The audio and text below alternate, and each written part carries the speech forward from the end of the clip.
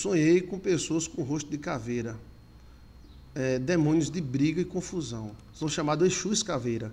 Por isso que o nome Caveira, porque ele gosta de se apresentar com caveira. Ele gosta de duas coisas: briga e confusão. São demônios de muita ira, de muito ódio.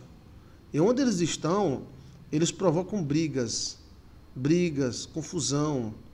Eles vivem disso. Eles colocam um contra o outro, né? Muito ódio e confusão, chegando até o extremo. Tá? Onde tem muita briga e confusão, tem um Exu desse, um Exu caveira. É um demônio com cara de caveira. A cara dele é seca, ou seja, a personalidade dele é seca. É.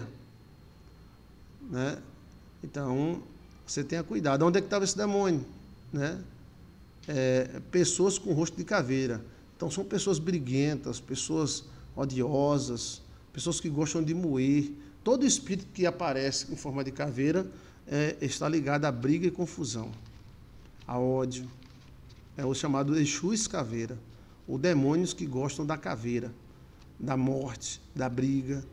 Eles atacam, colocam o pai contra o filho, o filho contra o pai, a mulher contra o marido. É, mas o sangue de Cristo tem poder, tá?